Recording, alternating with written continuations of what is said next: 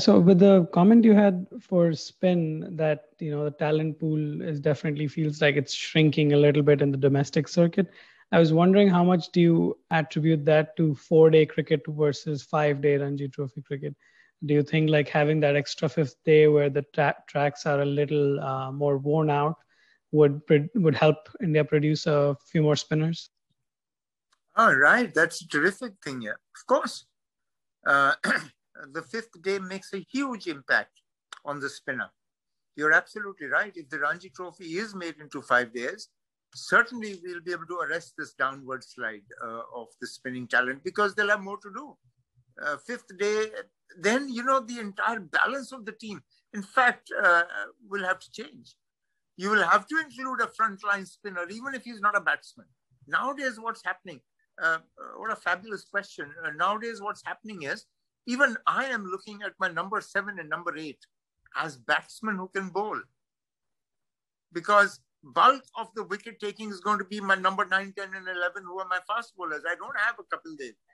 So, uh, you know, right. the spinners um, who will bowl a few overs at best, you know, 15 and 7 out of, uh, let's say, 160, 140, or 120.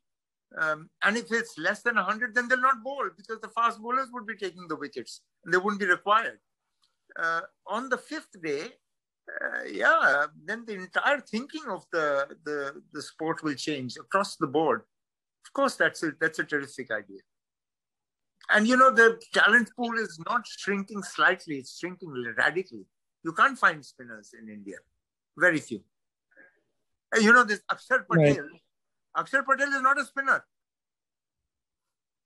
He's uh, he's an, uh, a cricketer. Uh, listen, I'm taking nothing away from him. Uh, all right, uh, you play the field you get.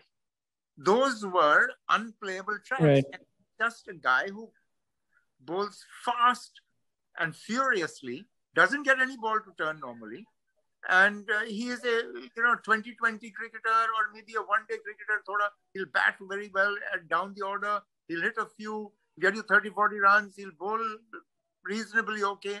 But he's not a five day match winner as he's being made out to be.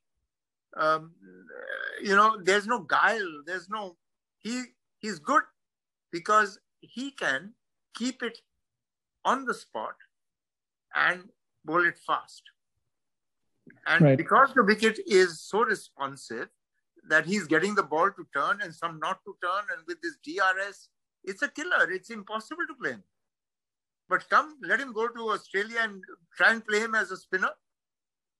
मार मार के उड़ा देंगे उसका उसकी छाल उधेड़ देंगे ball की